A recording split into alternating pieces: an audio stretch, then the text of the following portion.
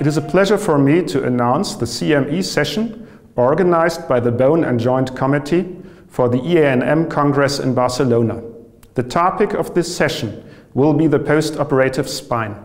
It will address clinically active nuclear medical physicians. Metallic implants are increasingly used to treat painful conditions due to spinal degeneration or related disorders. The particular interest nuclear medicine has in diagnosis of pain occurring after the implantation is due to the fact that conventional radiological imaging such as CT or MRI uh, meet with difficulties due to, to artifacts caused by the metal brought into the patient's body.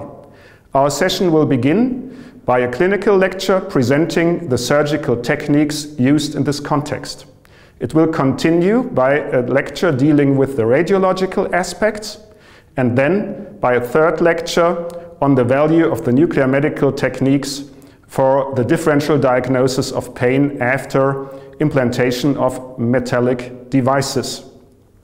It will conclude by an interactive session where cases are presented and the audience uh, will be asked for uh, their opinion on these cases. It will be a pleasure for me to meet you in Barcelona on the occasion of the session The Post-Operative Spine. Thank you for your attention.